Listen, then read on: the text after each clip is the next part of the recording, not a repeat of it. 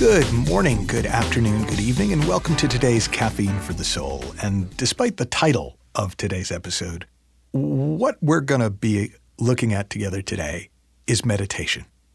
Now, those of you who listen to these podcasts regularly know that when I talk about meditation, I'm not really talking about a process, a technique, a practice where you sit for 15 minutes and you set a timer and you listen to calming music, or you sit for 20 minutes and you repeat a mantra, or you sit for 30 minutes and you focus on your breath, or any of the wonderful variations on meditation techniques that have been taught over the years.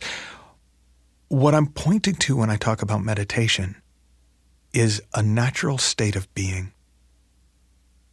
If you've ever read any of the, the work of Krishnamurti,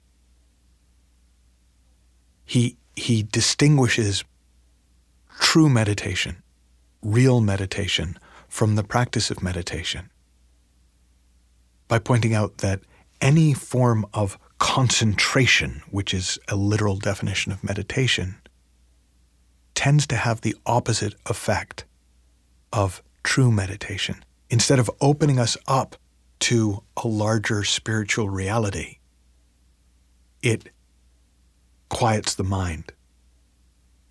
But as soon as you stop meditating, the mind starts up again. And it can become very frustrating. And I'm always playing around with different ways of talking about this. And I was speaking with a client the other week. And the metaphor that came to mind was that accessing the state of meditation is a lot like putting the kids to bed. Now, if you've never had kids, you're going to have to imagine this, but you've probably been alive long enough to be able to imagine it pretty well. You probably remember being a kid, if not being around kids. And the thing about kids is they generally don't want to go to bed.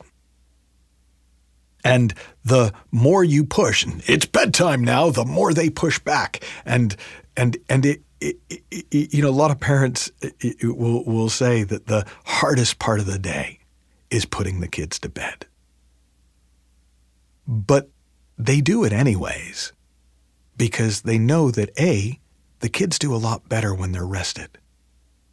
And B, once the kids are in bed, they get to relax and substitute your thinking for the kids. Right? When we sit down and try to quiet our minds and quiet our thinking, our thinking tends to go nuts. It, it's real squirrely real quickly. It's like herding cats. But if we've got some experience with the state of meditation, we know that whatever it seems to take to get there is worthwhile, both because our mind does a lot better when it's rested. And because when our mind is resting, we're free to really experience a, a carefree life. We're free to experience a depth of quiet and stillness and insight and well being. So if if if if you're listening to this and and you're thinking, okay, so what's the strategy? What are some strategies for putting the kids to bed? I, I'm not saying there aren't any, but I'm saying that as a parent and as probably any parent you would talk to or you will know for yourself. There's no one strategy that works to put the kids to bed every night. But by the same token, whatever gets the kids to go to bed works out great. And to kind of extend the metaphor and maybe extend it too far, maybe not, when you put the kids to bed, you don't usually give yourself crap about the fact that they're going to wake up again in the morning. You probably know. you know, I'm going to put the kids to bed and they're going to sleep for a while and then they'll be up. But if they're rested, it'll be really fun having them up. And then they'll go to bed again. And in the same way, when we put our thinking to bed, it'll come back. That doesn't mean you failed. That doesn't mean oh, I'm a bad meditator. It just means that that's the nature of the mind. Sometimes it's at rest and sometimes in motion, but when it gets enough rest, then the motion is beautiful.